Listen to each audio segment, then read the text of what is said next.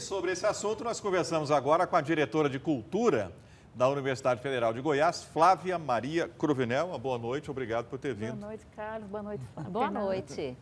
A gente viu na reportagem aí que eu próprio fiz, é, que está até sobrando dinheiro agora nessa retomada da cultura, né?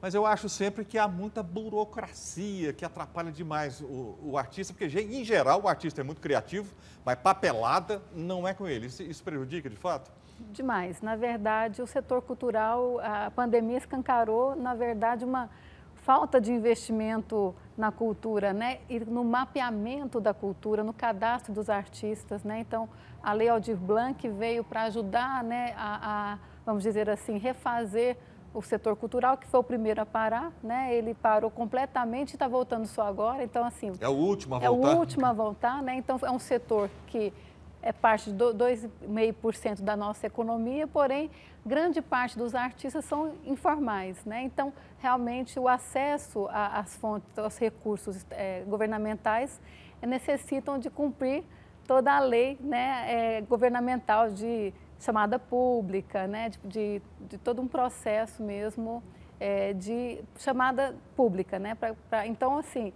realmente é, dificulta o tratamento do artista como, vamos dizer assim, uma licitação de bens materiais. Né? Então, teria que ter, assim, uma prestação de contas do, do, do artista, do artístico e também uma maneira né, mais eh, fácil do artista simples, né? acessar esse recurso. O Flávio, eu tenho a impressão que a cultura perdeu muito e de forma irreversível, porque muitos artistas não sobreviveram a essa pandemia. Sim. Migraram para outras áreas, foram fazer outras Mas coisas não morreram, né? e não vão voltar, exatamente, não, não vão voltar para a cultura. Com certeza, isso aconteceu. Eu sou professora também da, da área de música, né? então vários alunos é, largaram a, a profissão, né? alguns estão se dedicando a outras é, profissões exatamente por isso, porque também a pandemia escancarou as desigualdades sociais, mas também na área cultural. Né? Então, os artistas que têm grandes carreiras né, e que têm uma carreira, carreira mais consolidada, conseguiu é ficar né, é, nas suas casas. Mas e o artista, que é um autônomo, que precisa viver né,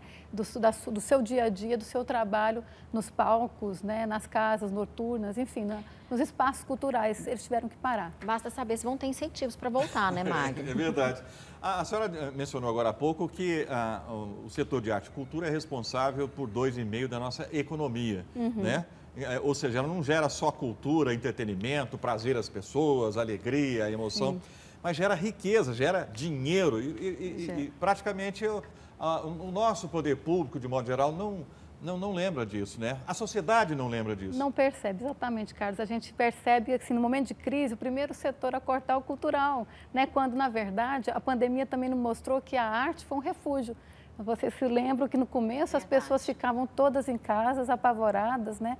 Para a gente ter uma ideia, 4,5 bilhões de pessoas pararam no mundo em 110 países. Isso há pouco tempo atrás, em abril de 2020. Só que parece que a gente já esqueceu tudo isso, né?